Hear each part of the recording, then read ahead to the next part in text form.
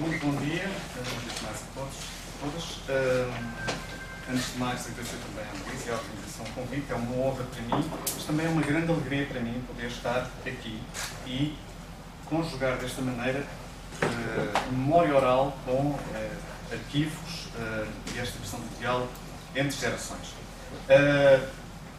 eu não posso deixar aqui de dizer algumas palavras só, para começar.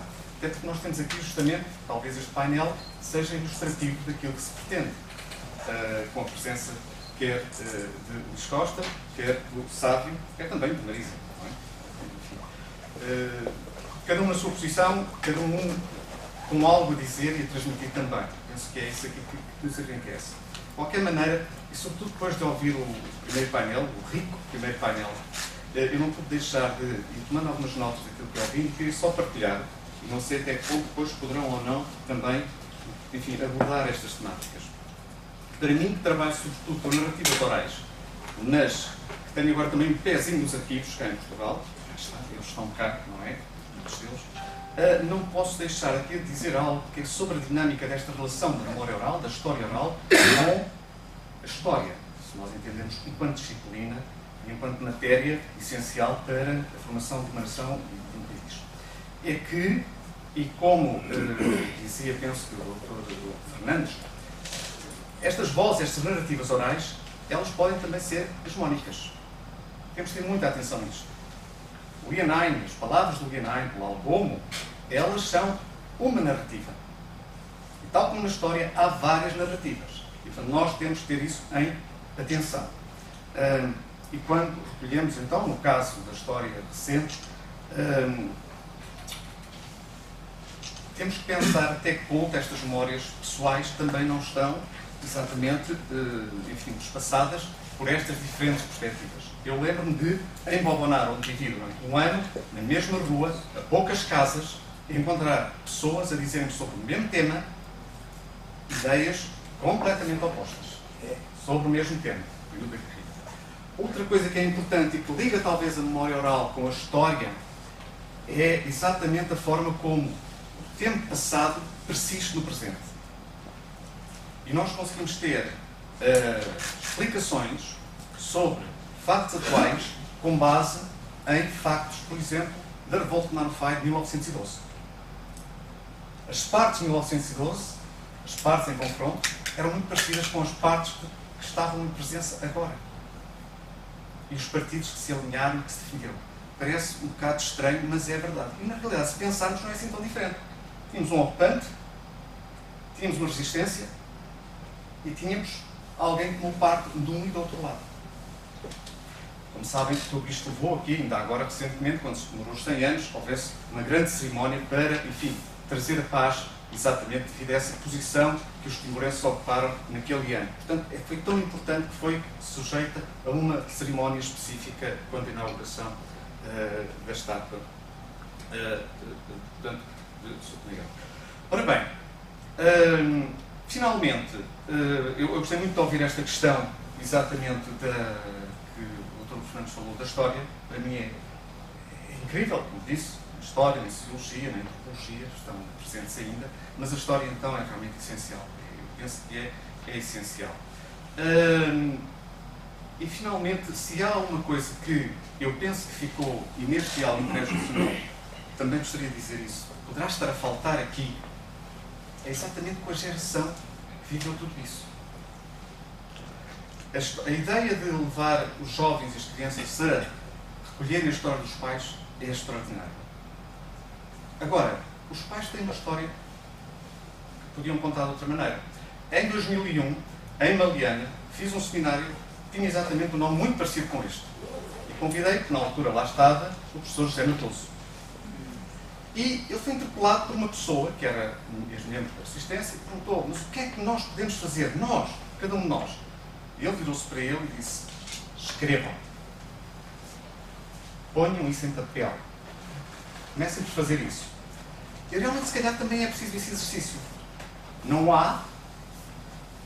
Começam a aparecer, talvez, na diáspora, essas mobilizações, se recontar o passado, todo o processo que as pessoas viveram, mas não há, penso que ainda em Timor, essa, essa dinâmica de haver enfim, uma publicação própria daqueles que viveram. Nem uma coletânea existe, penso eu. Ou seja, nós temos um conjunto de pessoas que sabem muito bem pôr por escrito. Agora, o problema é aquilo que me disse esse mesmo senhor que perguntou ao professor Senator esta questão. Ele falou comigo pouco depois, eu, nós éramos conhecidos. Uh, é muito complicado eu estar a pôr em palavras aquilo que eu vivi, experienciei, porque eu tenho que nomear pessoas. E depois como é, como é que é? Essa será a grande dúvida. E é também uma grande questão que ainda permanece. Porque a história, lá está, seja feita por quem for, terá que nomear. E a opção sobre quem nomear é muito importante. Uh, mas também, se não se fizer, dificilmente se fará toda uma história. É difícil haver uma história, vai haver várias histórias, eventualmente. Mas é importante haja essa reflexão crítica e essas várias histórias que se possam cruzar e optar. Dificilmente podemos falar que há uma única história, não é? Bom, já falei demais, vou passar a apresentar agora o professor Luís Costa, peço desculpa, mas vai falar sobre literatura oral timorense. Nada acontece por acaso, tudo tem uma razão de ser. O professor Luís Costa é professor de e cultura timorense, investigador, autor de obras sobre língua tétana e cultura de Timor. Fez o curso de Humanidades e Filosofia em Évora e o curso de Teologia em Leiria. Um percurso muito interessante. De janeiro de 76 a março de 79, esteve nas montanhas com a resistência. A partir de 84, foi membro do Comitê da Frente Diáspora em Portugal e colaborou em atividades pela causa timorense. É autor de vários livros, eu destaco aqui, eventualmente, o Dicionário Tétano Português, o Guia de Conversação também, e o livro mais recente, Borges da Costa, Seleções de Poemas, Língua Técnica Contributos para Gramáticas e o Helenas, Lendas de Timor-Leste, mais recente este. Uh, passo já a palavra para o professor.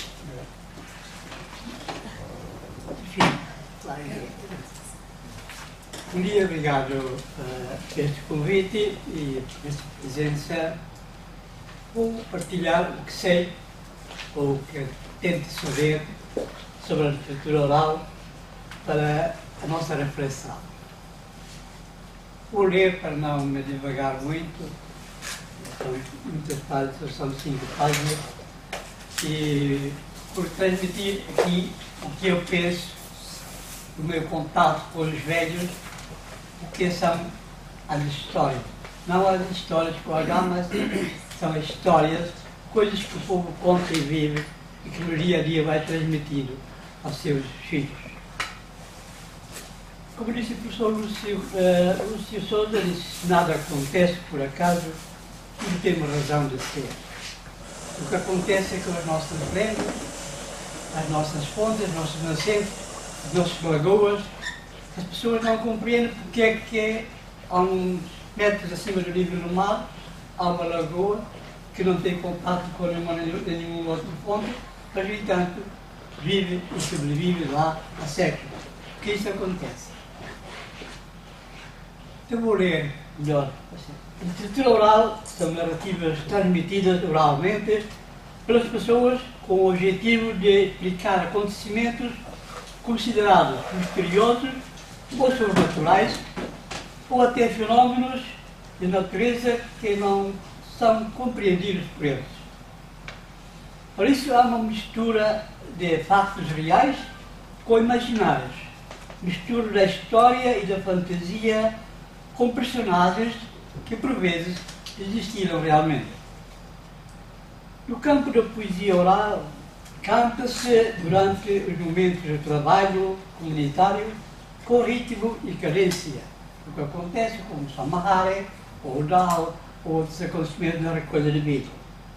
Há movimentos corporais que completam os signos verbais quando alguém toma a palavra para contar uma história ou lançar uma adivinha.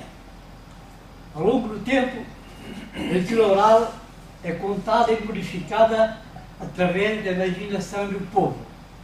A literatura oral são histórias que falam sobre a tradição de um povo e que fazem parte da sua própria cultura. Utiliza-se fantasia ou ficção, misturando-as com a realidade dos fatos. Usa fatos reais e histórias para dar suporte a histórias, mas envolvem-nos com a imaginação para aumentar um ponto na realidade. Fornece explicações aos fatos que não são explicáveis pela ciência ou pela lógica. Essas explicações, porém, são mais facilmente aceitas, pois apesar de serem fruto da imaginação, não são necessariamente sobrenaturais ou fantásticas. Sofrem alterações ao longo do tempo, por serem repassados oralmente e receberem a impressão e a interpretação daqueles que a propagam.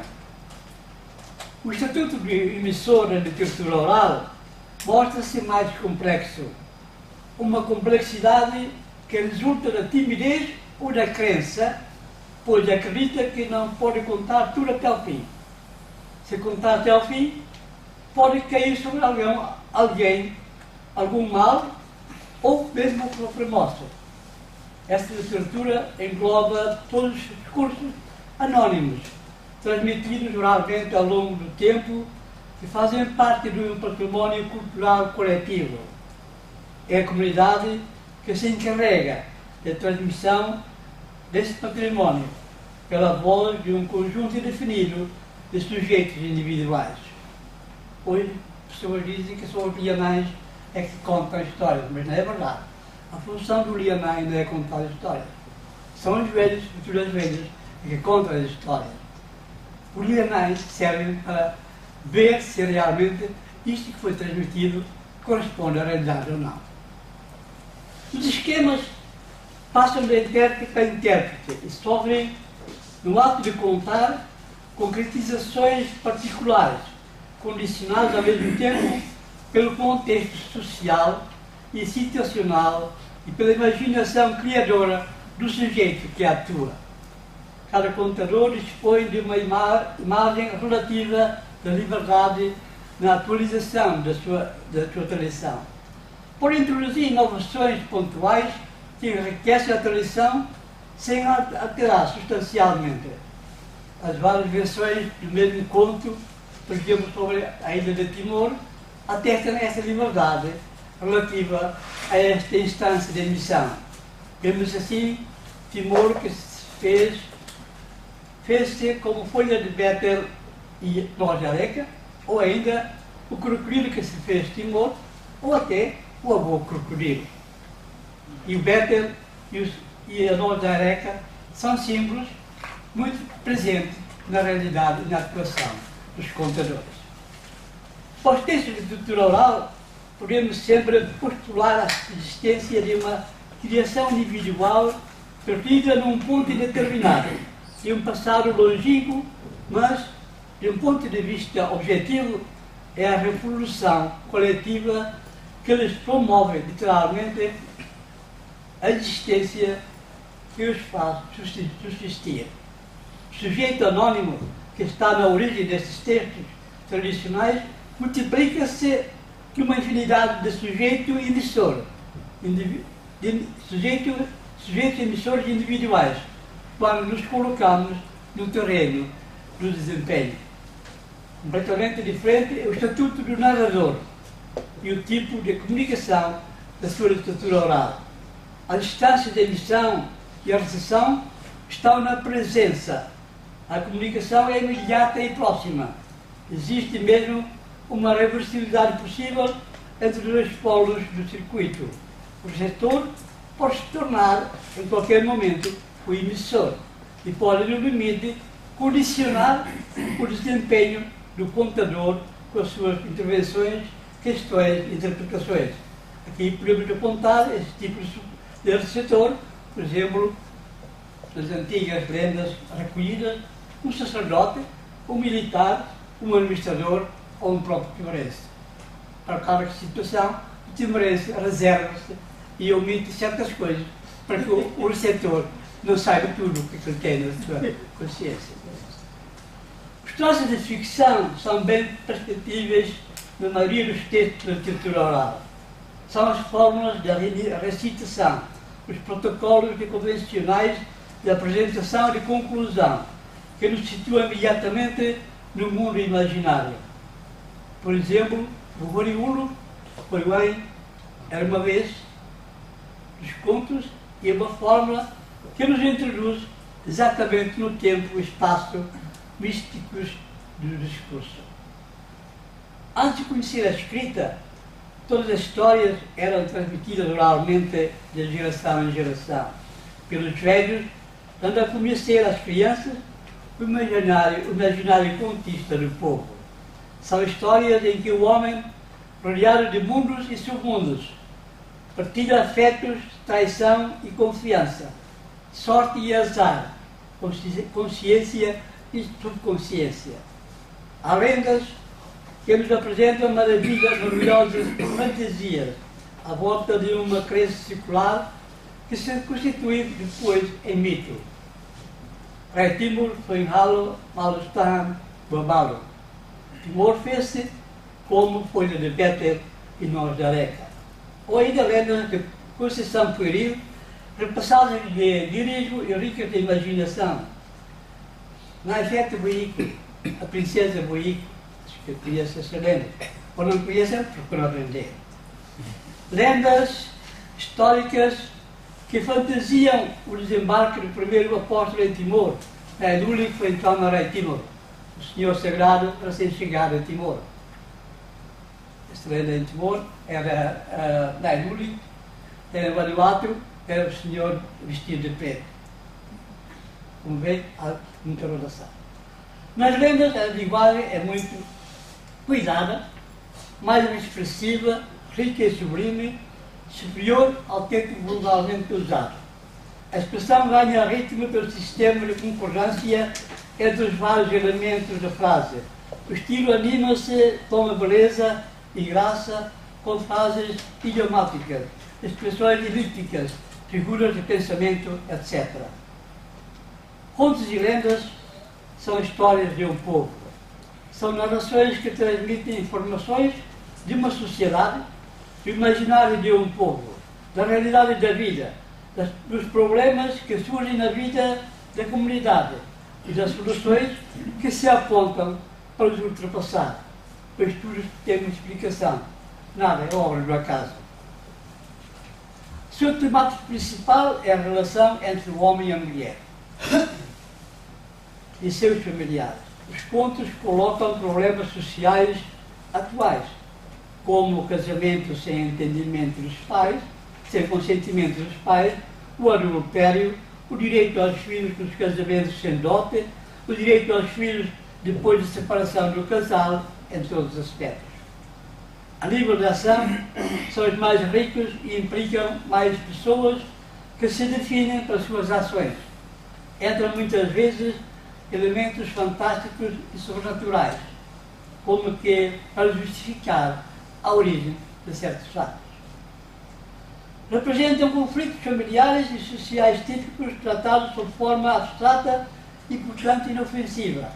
A solução proposta corresponde aos valores tradicionais da comunidade que podem pôr em causa certos valores que refletem novos valores adquiridos por nosso contato com a sociedade moderna. A nível temático, os contos refletem a vida diária da comunidade falam no trabalho, tarefas domésticas, trabalhos com, na horta ou na várzea, pesca, caça, construção das casas, serviços fora da aldeia. Das relações sociais, convites, visitas, encontros de jovens, da vida política comunitária.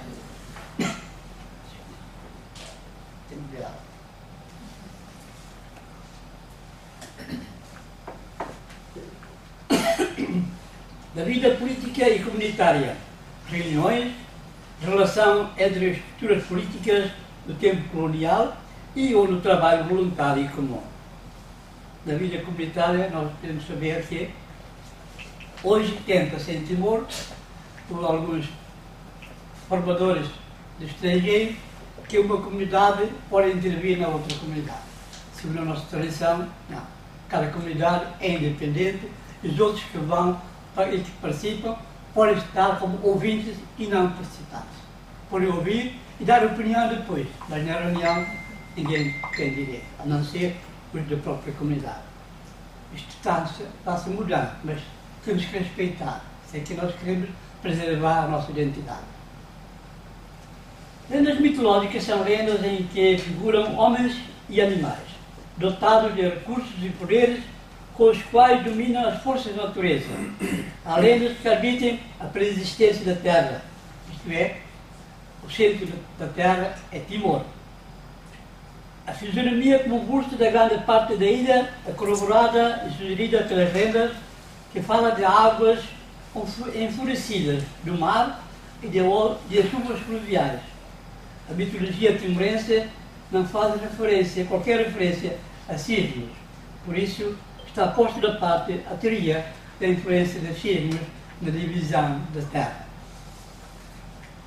Algumas lendas deste grupo são, acho que alguns conhecem, o resto da Terra, Paraíco, uh, do Manucoco ao Gênesis, o dilúvio na aparição de Loté. Aí outras lendas, eu pus estas porque há mais. Né? Lendas totémicas, essas lendas não unem determinadas famílias ou reino a uma espécie de animal ou vegetal de que se julgam descendentes. Os que admitem o teísmo abstêm-se de comer certo animal ou espécie vegetal simplesmente porque um seu antepassado adotou este hábito em virtude de reconhecimento para com o animal ou para com esta planta. Lenda sobre esses aspectos. Podem investigar, encontram e escrevam. Eu tenho algumas, mas não todas. Por exemplo, o crocodilo é tido quase por toda a parte de, como avô. Mas de Matauro não é crocodilo. A lenda, o mito do crocodilo é a Índia. Sabe, o mito da Índia, da, da, da, da Os que assim creem não lhe comem a carne, mas também não conta com o seu auxílio.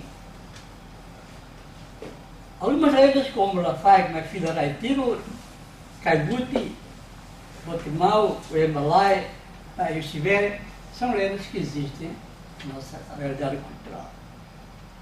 Contos mestiços, de contos mestiços, são evidentes nesta presença os elementos portugueses. Por que são mestiços?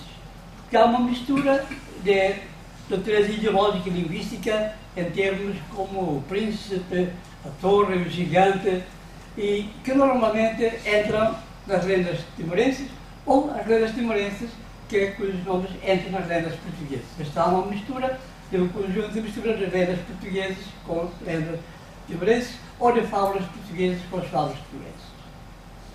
Isto normalmente é que quem conta um conto acrescenta um ponto, é verdade. É assim que o mesmo conto tem várias versões. Mas eu acrescentaria, no caso de Timor, mais dois aspectos, o narrador e o autor da recolha. Já disse atrás, né? o narrador, se é católico, se é cristão, conta de uma maneira muito mais suave com uma linguagem muito mais respeitadora, com a introdução de termos da religião, o, o, o contador gentil é aquele que realmente conserva a, a hegemonidade da, da, da, lenda e conta tudo sabe. Mas, como disse, não conta tudo. Eles convidam outras pessoas para a mesma história. O narrador conta de forma personalizada e enriquece com pormenores específicos, dá explicações e interpretações pessoais de acordo com a sua convicção. Já estive a mas vou ler. O contador não cristão é mais fiel à narração original. O cristão introduz aspectos da sua convicção religiosa.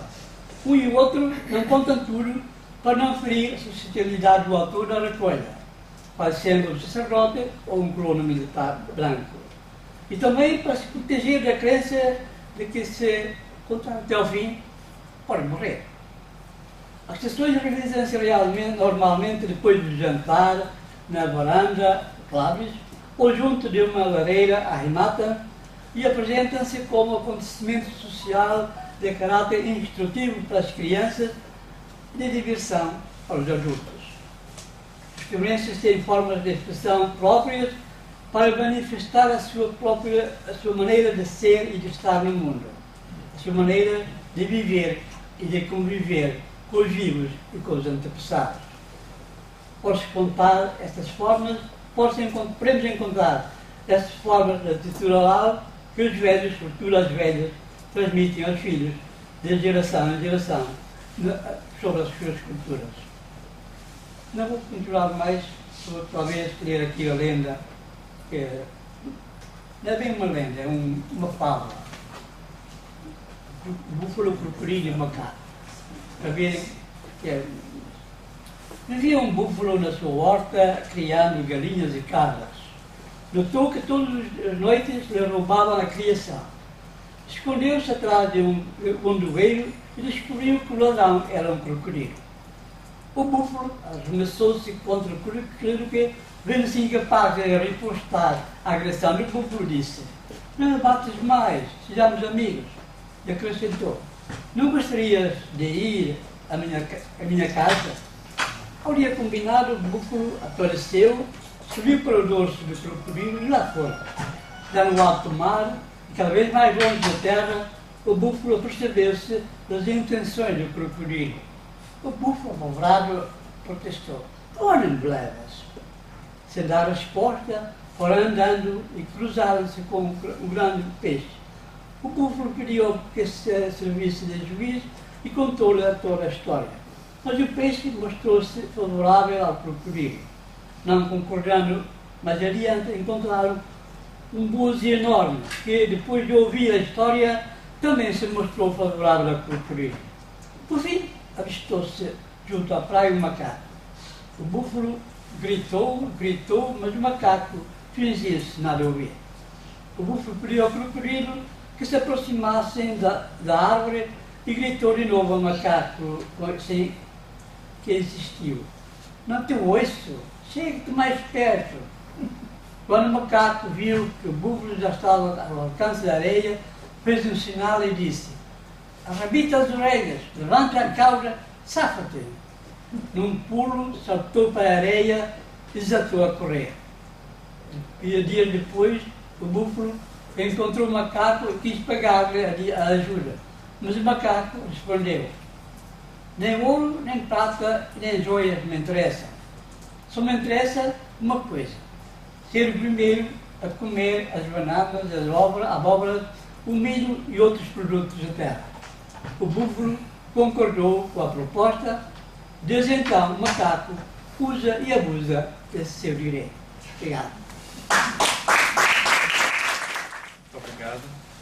Uh, e eu vou passar já para uh, o Gênio Sávio Manter, do Centro Nacional Chega, que vai fazer uma comunicação sobre uma reflexão sobre pesquisa e ensino da história em Timor-Leste. Não podia haver nada mais É licenciado em História na Universidade de Sanata Dharma, Indonésia. Foi investigador na Comissão de Pesquisa da História da Mulher Timorense entre 2014 e 2017 e desenvolveu materiais didáticos da disciplina de História para o ensino básico em Timor-Leste, sendo atualmente pesquisador do Centro Nacional Chega. Uh, boa tarde a todos. Uh, eu não falo português fluentemente porque cresci no período de ocupação indonésia, por isso vou ler a, a minha apresentação. Uh, se fizermos uma análise da historiografia sobre Timor-Leste até o momento, a maioria foi produzida por estrangeiros. O bibli bibliógrafo de Timor-Leste, Kevin Sherlock, que é citado no livro de Zeofregan, em 1999, mencionou, mencionou que os primeiros livros sobre a história de Timor-Leste em língua portuguesa se referiam a período do século XIV uh, ao século XVIII. Poucas obras cobrem a história até o século XX e, mesmo assim, tratam de modo superficial o século XX e quase não estudam os acontecimentos do século XIX. No entanto, entre as obras mais recentes, podemos mencionar o livro de Fernando de Figueiredo, que cobre o século XVIII até 20 e alguns escritos de Moisés Fernandes sobre a história diplomática do século 20. Em língua inglesa, Sherlock identifica dois gêneros de textos, aqueles que usaram documentação portuguesa e que se referem principalmente ao período do século XVI ao XVIII e aqueles que, que tratam Timor-Leste nos anos 70 do século passado, mas que incluíram um ou dois capítulos sobre a história anterior, baseado em textos e em relatos de viajantes ingleses e holandeses, alguns relatos de jornais e correspondência diplomática do século XIX e princípios do século XX. É mais recente a obra de Hans Agerdahl sobre o início da colonização em Timor, desde o século XVII até o século XVIII. Desde 2002, muitas obras que fazem um cruzamento entre história e antropologia têm tratado de forma mais interdisciplinar a realidade histórica do século século XX. Só os produtos da historiografia colonial portuguesa tendem a acentuar os aspectos mais positivos das relações com a mãe pátria, Portugal, enquanto os estudos anglo-saxônicos não são favoráveis à posição portuguesa. E mais tarde, um trabalho que deve ser mencionado é a obra de René Pellicer, de 1996, A Reconstrução Histórica de Séculos XIX e XX em Timor-Leste. O autor procedeu à apreciação crítica dessas fontes, especialmente ao comparar as, as portuguesas com as holandesas. Agora, a historiografia feita por timorenses começou depois da Revolução dos Cravos, através da obra de Abílio Araújo, em 1977, e José Ramos Horta, em 1988, hoje em dia está a crescer. Estas obras contribuíram para a historiografia de Timor-Leste, além da riquíssima história oral dos timorenses.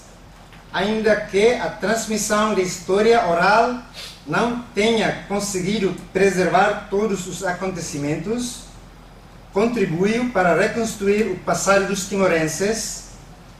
No entanto, a história como ciência, no sentido mais clássico, também não permite resistir todos os eventos passados. Se a história, na sua corrente mais clássica, privilegia as evidências provenientes de documentos escritos, as informações coletadas através da história oral também podem ser sustentadas com evidências de vários tipos, objetos, fotos, lugares, documentos escritos e pelo valor da própria, própria oralidade. É importante enfatizar a importância da história oral porque atualmente é utilizada como metodologia mais frequente na pesquisa histórica em Timor-Leste desde o ano de 2002. Um exemplo é o livro de Michel Turner, Telling, em 1992, que reconstruiu a história de Timor-Leste, focando a sua atenção nas experiências vividas pelo povo leste-timorense durante a ocupação japonesa e indonésia. O livro foi uma obra pioneira da história oral sobre Timor-Leste. Atualmente, a história oral foca diversas temáticas, nomeadamente as lendas, a história popular e a história de Zogu Nyanfu, a mulher conforto durante a ocupação japonesa. Sobre a ocupação indonésia, a história oral trata também a temática sobre a resistência armada clandestina, história da mulher, e alguns timorenses começaram a escrever autobiografias e biografias. A maioria dessas pesquisas e publicações foi escrita por pesquisadores amadores que não têm uh, background de história ou de ciência social, mas são o resultado de entrevistas para preservar a memória sobre o passado, Em alguns casos, os pesquisadores tentaram cruzar estas entrevistas com documentos e arquivos. Os timorenses historiadores profissionais são poucos.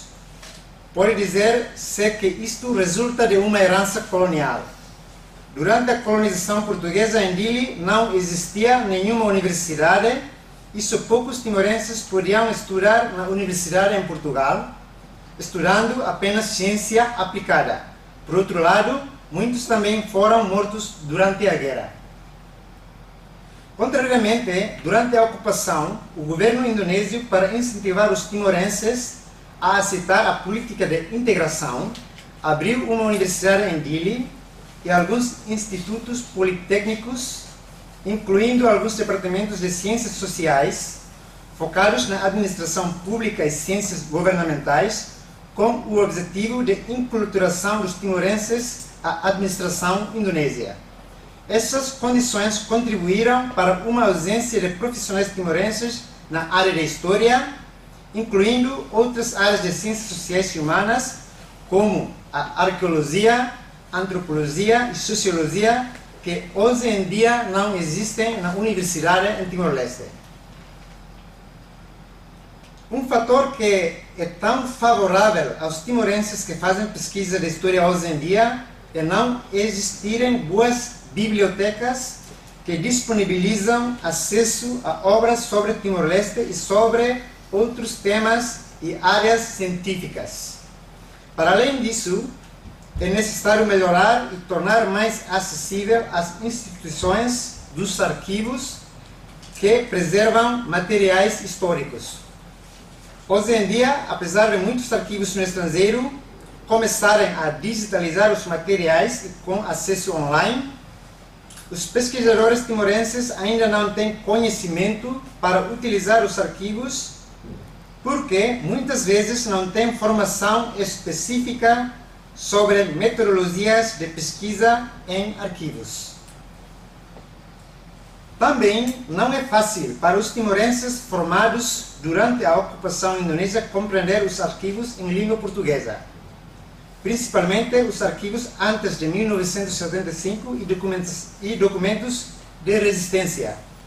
Os timorenses que cresceram no período da ocupação indonésia experimentaram um processo de descaracterização paulatina da cultura luso-timorense, visto que, com a proibição do ensino da língua portuguesa em todos os níveis de ensino, o malaio-indonésia passou a ocupar este lugar. Neste processo, toda a história e a cultura indonésia, sendo Timor-Leste, é vista sob o ponto de vista do ocupante como sua 27 província.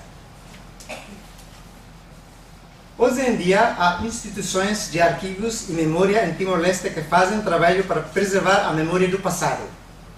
Esta fase iniciou-se com a criação da Comissão de Acolhimento, Verdade e Reconciliação, CAVR, fundada em 2001 no período transitório da UNTAED, para do, documentar os acontecimentos desde o dia 25 de abril de 1974 até dia 25 de outubro de 1999.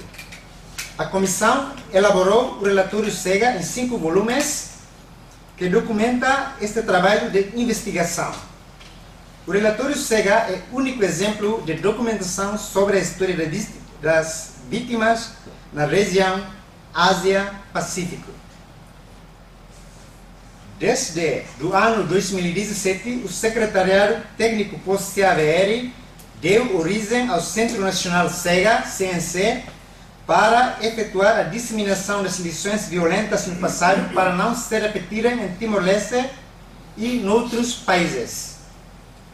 Outra instituição é o Arquivo, Arquivo Museu da Resistência Timorense, de acordo com os objetivos explicitados na sua Carta de Princípios, escrita em 2011, que afirma ser uma instituição vocacionada para a preservação da memória e do patrimônio histórico nacional e para a divulgação dos valores da luta de resistência do povo de Timor-Leste, especialmente junto das camadas mais jovens. Existe também o Arquivo Nacional de Timor-Leste, que compreende os arquivos desde 1945 até 1975 e o período de Untayet, 1999 até 2002, e o Centro Audiovisual Matistal, que faz documentação em vídeo desde a ocupação indonésia até ao período independência. Mas estas instituições não irão contribuir para a escrita da história de Timor-Leste se não existirem investigadores que utilizam os arquivos. Por isso, é preciso organizar e gerir bem os inventários a partir dos catálogos acessíveis ao público. Para além disso, é importante preservar também os resultados das entrevistas de história oral em Timor-Leste hoje em dia e fazer cooperação com os arquivos no exterior. Da mesma forma, seria fundamental haver departamentos de ciências sociais e humanas que não existem na Universidade de Timor-Leste, dar bolsas aos timorenses nestas áreas ou começar a fazer cooperação com universidades internacionais, incluindo Portugal, para abrir um departamento de História em Timor-Leste. Se não existirem estas iniciativas, a pesquisa histórica sobre Timor-Leste, feita por timorenses, continuará a ser diminuta. E os timorenses continuaram a ser apenas objeto de pesquisa. Assim, a perspectiva eurocêntrica continuará a ser dominante. No entanto, Timor-Leste contemporâneo, ao resultar do cruzamento de diversas culturas de influência melanésia e austronésia, da colonização, da colonização portuguesa, ocupação japonesa e indonésia, exige uma abordagem histórica aberta a diversas perspectivas, ou seja, pluriversal e com pensamento crítico sobre o seu passado. Neste momento, o ensino de história em Timor-Leste começou a ter alguns progressos, embora ainda seja preciso um pensamento e avaliação crítico continuado. Para abordar este tema, vou, vou falar também a minha experiência que tive enquanto membro da equipa que elaborou, elaborou o currículo e as matérias de apoio da disciplina de História do primeiro ano e do segundo ciclo do ensino básico em Timor-Leste. A ideia do ensino da história uh, com a perspectiva de timorização, de facto, começou depois da Revolução dos Cravos, em 1974, quando se estabeleceu o Grupo Coordenador para a Reformulação do Ensino em Timor, envolvendo portugueses e timorenses. Além de outros objetivos cruciais, um deles era discutir os programas de História e Geografia e a desadaptação dos manuais à realidade timorense. Em 1975, o programa de reformulação do ensino encontrou em Timor-Leste a oposição de alguns professores tradicionalistas e do bispo católico que viu a mudança em Portugal com o perigo de Timor ficar sob influência comunista. Tendo reagido contra a reformulação do ensino, tal como contra todas as ações de descoloniza descolonização. Contudo, o que verdadeiramente impediu este processo foi, por um lado, o golpe da União Democrática Timorense, UDT, um partido de direita contra o Partido Frente Revolucionário de Timor-Leste Independente, Fretilin, que lutava pela independência total, e por outro, mais tarde, a invasão indonésia em dezembro. Ambos os episódios aconteceram em 1975. No período da ocupação indonésia, os historiadores indonésios escreveram a história de Timor-Leste para legitimar a política da integração. Um dos argumentos para a anexação era que Timor tinha uma linha de conexão com o Império Mazapahi nos séculos 13 e 15 o que historicamente colocava a República Indonésia Moderna como herdeira da fronteira geográfica desse império. Em meados da década de 1960, no período da Guerra Fria, a Indonésia teve um regime anticomunista no poder. Este regime foi fundado a partir do genocídio de cerca de 500 mil a 1 milhão de pessoas na Indonésia e também cerca de 200 mil timorenses, ou um terço da população, foram mortos durante a ocupação, antes de terminar com a política da terra queimada em 1999.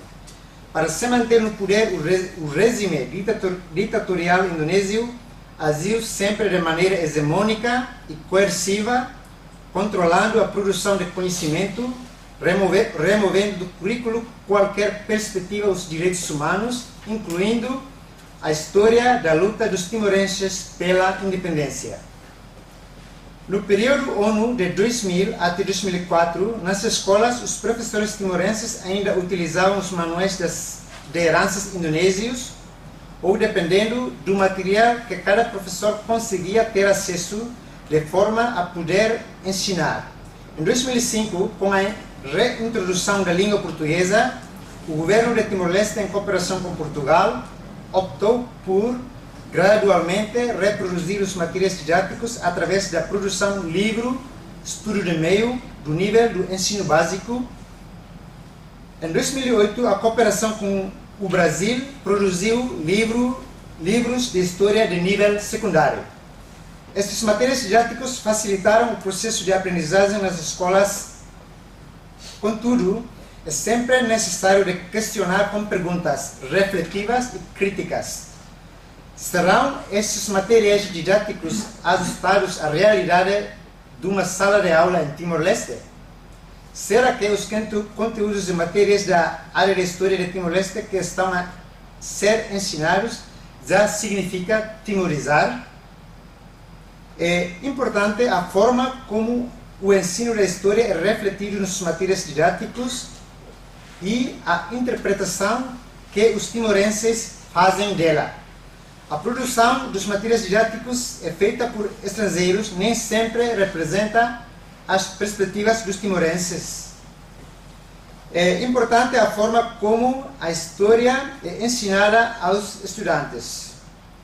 Os, os conteúdos dos materiais didáticos quase como repetição da produção historiográfica da perspectiva colonial, como a história de Timor-Leste começa mais ou menos depois da chegada, da chegada dos portugueses, foca a relação comercial por causa do sândalo, fala das campanhas de pacificação do governador português contra os reinos timorenses, rivalidade entre Holanda e Portugal, que dividiu a ilha de Timor em duas partes, não havendo espírito crítico em relação ao colonialismo português.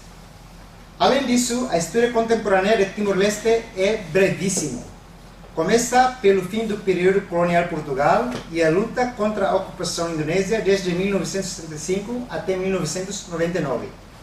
Também é merecido criticar que os perfis sábios timorenses introduzidos no livro foram grandes homens e apenas homens. Não há mulheres. Desses vários problemas, o Ministério da Educação fez uma reforma curricular em 2014, incluindo a unidade de ensino de História passou a integrar o ensino de história no quinto e sexto anos de, na disciplina de ciências sociais e criou livros de referência. A formação continuada para os professores timorenses, realizada pelo Instituto Nacional de Formação de Docentes e Profissionais da Educação. Outra questão importante é ensinar em que língua. A questão de língua não pode impedir um estudante de obter conhecimento na escola Sobretudo, sobretudo em Timor-Leste, nos dias de hoje, não é permitido uma repetição da prática dos dois regimes ditatoriais, como, o, como a do período português e do período indonésio, que impunham a superioridade de uma língua específica. Ensinar os estudantes timorenses totalmente em língua portuguesa ainda é complicado porque a maioria das crianças, especialmente nas áreas rurais, não tem acesso a contexto de imersão da língua. Tanto em ambiente lúdico como em casa, não há condições para comunicar em língua portuguesa. A maioria dos professores ainda não domina a língua portuguesa.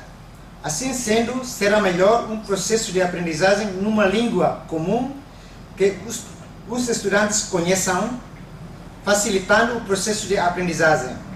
A utilização da língua teto é fulcral, aumenta, aumentando progressivamente a carga horária de língua portuguesa no terceiro ciclo e no secundário já se utiliza português como língua de instrução dominante. Agora, sobre a produção de material didático que tem ligação à história Timor-Leste, o ideal é efetivamente que os pedagogos ou peritos da educação desenvolvam, baseando-se nos livros de história que foram escritos por historiadores. Mas isso não aconteceu em Timor-Leste. A produção material do currículo de história de Timor-Leste é trabalho redobrado e um grande desafio.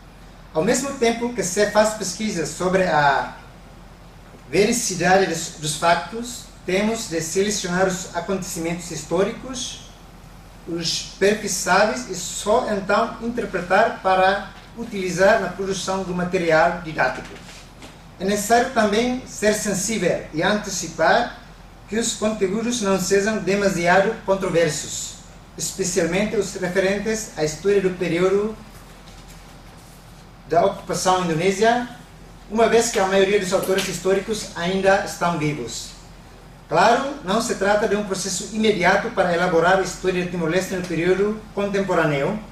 Aqui as contribuições das organizações da resistência e das vítimas é muito útil. Por exemplo, para saber o número de pessoas mortas e alguns acontecimentos históricos durante a ocupação indonésia.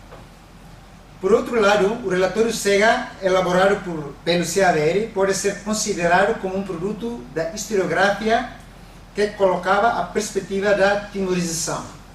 Por isso, também se tornou uma referência importante para a produção de material didático, incluindo algumas recomendações sobre valores, os valores de reconciliação e como criar paz em Timor-Leste hoje em dia.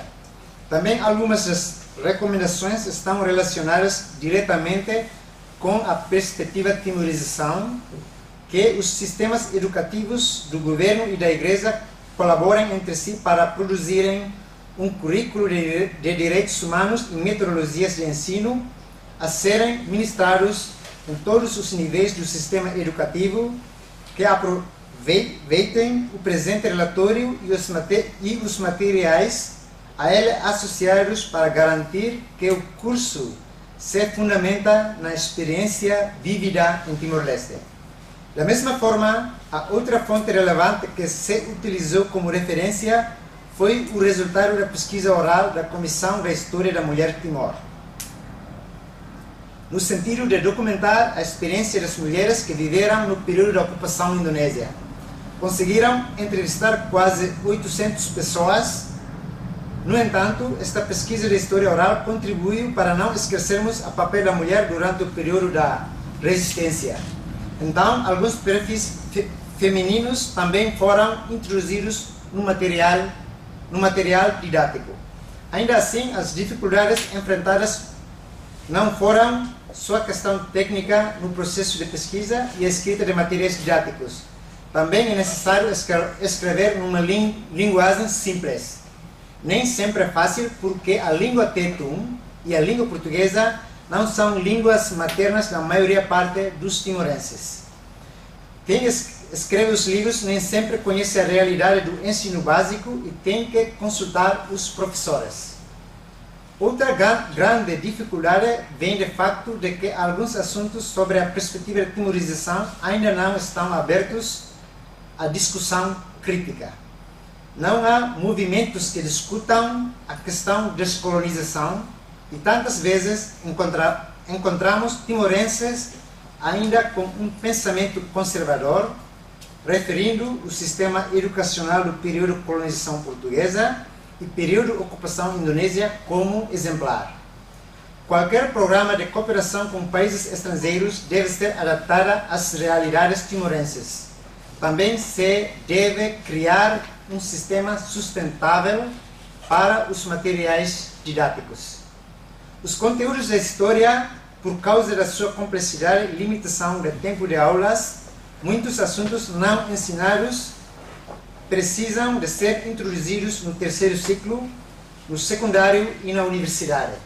No futuro, Timor-Leste precisa de uma instituição centrada na pesquisa da história, com historiadores timorenses que debatam e questionam, questionem o avanço da historiografia e do ensino da história nas escolas de Timor-Leste. Obrigado. Muito obrigado, uh, Sábio. Eu vou uh, então passar para a última comunicação uh, da Marisa Ramos uh, do Centro de Estudos Sociais, que tem por título O Arquivo Intergeracional de Histórias, Expressões de Identidade, Nacionalismo e Direitos. Uh, a Marisa é investigadora do SES, como foi dito, a desenvolver um projeto de investigação com pulseira Marie Curie, Widening Fellowship, sobre o tema A Educação como Instrumento de Libertação em Moçambique e em Timor-Leste, Histórias de Solidariedade e Reflexos Contemporâneos.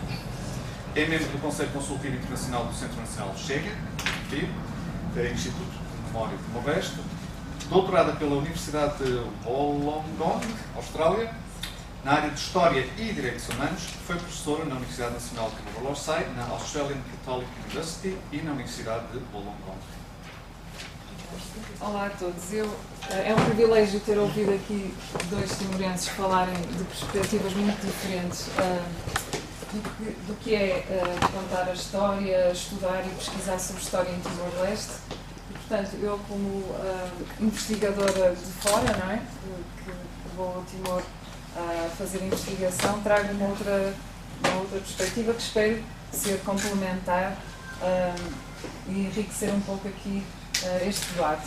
Eu, eu, também não vou fazer grande, não vou, vou tentar não me alongar muito uh, e vou talvez ilustrar com uma pesquisa que eu fiz uh, em 2012, que é uh, exatamente sobre o diálogo entre gerações, sobre o que é que várias gerações sabiam e pensavam sobre vários períodos históricos, desde o tempo dos antepassados até a ocupação indonésia, alguns momentos da ocupação indonésia e da colonização também portuguesa e, e, da própria independência. E, portanto, vou mostrar aqui alguns exemplos de, do que alguns desses uh, uh, participantes da minha pesquisa disseram na altura, em 2012. Um, outra coisa que eu queria dizer, também em ligação com a apresentação do, do professor Luís Costa, que achei muito interessante, é que realmente é uma aprendizagem que fazemos e acho que, que disse sobre o poder da palavra em Timor-Leste e o que as pessoas nos dizem quando nós vamos como entrevistadores, não é? Uh, de fora, conhecer uma nova cultura, uma nova realidade. Uh, o que me aconteceu na primeira entrevista que fiz em Timor-Leste em 2007, a um livro Ainaro, foi que ele me perguntou, uh, eu precisava de saber mais ou menos se você é solteira ou se é casada. Isto foi no início da entrevista. e mais ou menos quantos meses você vai ficar aqui. Eu fiquei um pouco chocada porque era a minha primeira entrevista, porque é que eu tinha que responder sobre o meu estado civil uh, e porque eu só estava a passar lá e a ficar umas horas e não tinha pensado ficar lá vários meses a falar com ele. Então, isto para mim uh, significa um bocado o que é fazer também pesquisa em Timor-Leste, não é? Que nós realmente, quando fazemos uma, uma, temos uma conversa ou abordamos alguém, é um processo de conhecimento, como disse, que tem que ser complementado com várias outras histórias e que, portanto, as pessoas não contam a história toda e vão contando partes da história, ah, porque naturalmente, e acho que isso pode até acontecer noutras culturas, ah, que nós nem sempre queremos contar tudo da nossa história, não é? Se nós formos entrevistados, qualquer um de nós temos o direito de não, não contar tudo sobre nós. Acho que isso é até um direito, devia ser um direito de todos. Uh, e portanto, queria só partilhar também essa sabedoria que nos trouxe hoje, que acho que é muito importante para quem faz pesquisa. Uh, muito rapidamente, eu só queria falar sobre a questão da história oral, uh, no, no, panorama do que é fazer pesquisa sobre história, e que já falámos um pouco sobre isso.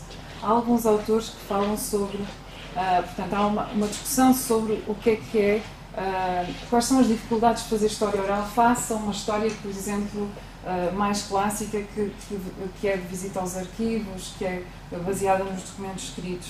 E que, portanto, a história oral teria menos valor e seria mais difícil de uh, ser comprovável a sua autenticidade porque não existem documentos escritos. De facto, já há muitos historiadores um, de história oral que têm vindo a discutir que realmente o, a oralidade, a história que é contada pelas pessoas tem um valor intrínseco em si mesmo, ou seja, a oralidade tem um valor que, que, é, que é intrínseco à, à, à, própria história e que realmente é importante o cruzamento entre as fontes orais, sem dúvida, e os arquivos, porque temos os conhecimentos complementares, uh, mas que também não devemos uh, fazer com que os documentos escritos sejam, eles não não, seja, não os analisemos e não seja, sejamos críticos também da própria produção de um, de um documento escrito que está num arquivo, que ele também pode ser subjetivo, que também reflete as perspectivas da, pessoa que o produziu naquele momento, ou seja, a, a perspectiva crítica que temos que manter uh, é extensível também aos arquivos, não só aos testemunhos orais, mas também aos próprios arquivos. E, portanto, é por isso que é uma, é uma disciplina complexa, mas é também uma disciplina interessante por esse motivo, porque fala da complexidade humana em todas as suas dimensões e, portanto, naturalmente exige de nós muito esforço de cruzamento, de, de várias interpretações, de vários posicionamentos e como também já falamos hoje, uh, o passado é, é, o nosso, está no nosso presente, como também o Lúcio Sousa referiu. E, portanto, quando falamos do passado, estamos também a falar de nós próprios, da nossa, da nossa comunidade, da nossa família, da nossa nação, uh, refletindo uh, sobre o que é que queremos ser hoje. E, portanto, temos também, ao analisar a história, estamos também a falar sobre o que é que queremos ser no futuro e, e quais são as nossas qual é o nosso contexto político e social atual. Portanto, a história tem essa capacidade, essa, essa possibilidade não é, de projetar também uh, outras, outras uh, dimensões da, da, sociedade. E por isso uh, também devemos ter isso presente quando, quando pesquisamos nesta, nesta área. A questão das histórias ausentes, que, que, nos fala a, Maria, a professora Maria Paula Menezes, que hoje falou hoje de manhã, ela chama-nos muita atenção sobre quando nós temos acesso a histórias e narrativas oficiais, que têm o seu valor e a sua importância, que constituem também muitas vezes uh, histórias de, de, nacionais, não é, importantes. Uh, temos também conhecer, por exemplo, como falámos, as histórias das pessoas uh, normais, comuns, que participaram em vários eventos históricos e as suas interpretações, como é que elas se veem dentro desses eventos históricos. Isso é um bocado o que traz a história oral, usualmente. Portanto, quando eu falei com alguns jovens também, isto reflete um bocado o que foi dito hoje, ou seja, que existe uma transmissão da história oral uh, em Timor que é muito forte e que ao mesmo tempo ainda não existiu durante o período de independência até mais ou menos ah, há pouco tempo, 2012, 2013, não existiu muito investimento ah, na produção de materiais didáticos sobre história, nem existiram muitas pessoas formadas, por isso os jovens dizem muitas vezes eu não estudei isso em lado nenhum, ah, eu ouvi dos meus pais, ouvi alguns programas de televisão, porque às vezes havia alguns programas de televisão que falavam sobre períodos de história, Uh, dependia muito do percurso individual de cada estudante, mas se pudéssemos fazer uma, uma análise global, de facto, a maior parte deles tinha ouvido falar sobre uh, obviamente que falam muito sobre o colonialismo português, fala-se muito sobre a resistência ao colonialismo indonésio, mas também se fala sobre o tempo Ulu, ou o tempo dos antepassados. Ou seja, a história realmente, como aquele senhor me disse, tem que estar aqui vários meses, porque a história começa há muitos milhares de anos, não vou começar aqui em 1975, porque isso é muito recente, eu tenho muita história para contar antes. Isso não é refletido muitas vezes nos manuais que foram escritos para os, para os, os jovens em Timor. Ou seja, a história parece que começa uh, ou pela colonização portuguesa, a chegada dos portugueses ao, ao ou começa depois de 74, com, de 75 com a invasão. Uh, mas não, se nós falarmos com as pessoas uh, em geral, elas falam-nos também de, de, das lendas, contam-nos as histórias das comunidades mais antigas. isso é importante. E aqui também temos uma, uma senhora que fala sobre isso, que conta também aos filhos tudo que passaram, do, do seu sofrimento. Aqui ela está mais a referir-se à, à resistência à, durante o tempo indonésio. Um, e, e, fala também sobre os antepassados, mais uma vez. Portanto, é, uma, é um tema recorrente nas, nas entrevistas. Uh, depois, alguns jovens têm um discurso bastante interessante sobre o que é que eles pensam que é ser timorense, sobre o que é que é o nacionalismo timorense, que uh, explicam com as suas próprias palavras o que é que para eles significava uh, a independência e o nacionalismo. Portanto, ele diz que o nacionalismo é acerca do direito de Timor de ter a sua autodeterminação. Isto é que nos inspirou a procurar uma saída da violação, da ocupação e condutas do colonialismo. Eles queriam uma mudança para uma sociedade justa e solidária e estes eram os seus objetivos que os guiaram a lutar pela autodeterminação com espírito nacionalista e patriotismo.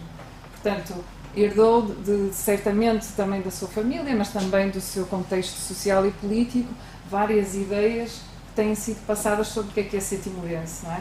Penso que também é muito comum a, a muitos jovens em Timor-Leste, ou seja, há uma formação também política através da televisão, dos mídias, do uhum. contacto com a família, uh, não necessariamente da escola, mas da própria sociedade. Uh, depois tinha aqui algumas uh, alguns testemunhos específicos sobre o que é que significou para, este, para estas pessoas, alguns jovens, outros não, sobre o que é que significou o referendo de 99. Uh, ah, e, portanto, temos aqui um, um jovem que fala sobre uh, porque é que aconteceu o referendo. E ele diz, um, da, minha interpretação, que o facto da violência que existiu, os vários massacres que aconteceram em Timor, uh, levaram a um culminar de, um, de, de, que as pessoas chegassem à conclusão que realmente não, não querem ser parte da Indonésia por causa da violência excessiva que foi cometida e, e porque realmente os timorenses queriam uh, queriam ser uh, independentes e experimentar a sua própria identidade. Uh, são as palavras dele. E portanto revela até que, eh, se não houvesse tanta violência, poderia, no, na interpretação deste jovem, poderia até não ter sido necessária a autodeterminação, nesta perspectiva, uh, mas realmente a violência, a violência era demasiada e, portanto, isto não era, para o Timor-Leste não seria possível. Uh, depois temos um testemunho de uma, de uma mulher que fala sobre também o que ela testemunhou durante a sua infância, e que, portanto, não existia a justiça, existiam muitas mortes, as pessoas eram perseguidas e que ela própria participou da campanha do CNRT e que uh, viu nisso uma forma de, de ela também afirmar e uh, expressar uh, a, sua, a sua participação política, não é? Como jovem. Portanto, realmente nesta época a campanha do CNRT foi muito feita por eh, jovens que tinham estudado na Indonésia e que tinham regressado especificamente só para fazer a campanha pela autodeterminação. Uh, e ela também integrou um desses grupos uh, que, que, voltaram. Portanto, para ela foi uma experiência de afirmação. Uh, por último, temos aqui um senhor mais velho que falam de uma forma diferente, não é? de uma perspectiva de quem já viveu vários períodos coloniais e que ele conta, não é?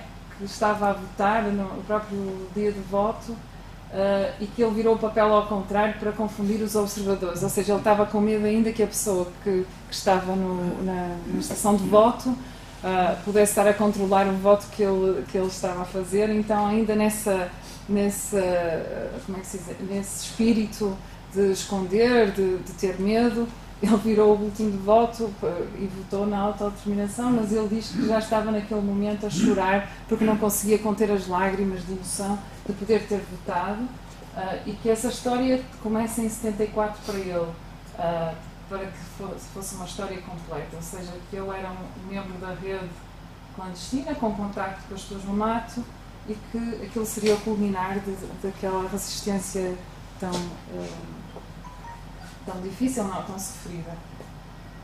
Eu tenho aqui uma, um exemplo, já numa, desta pesquisa mais recente que eu estou a fazer, que é sobre a diáspora timorense em Moçambique.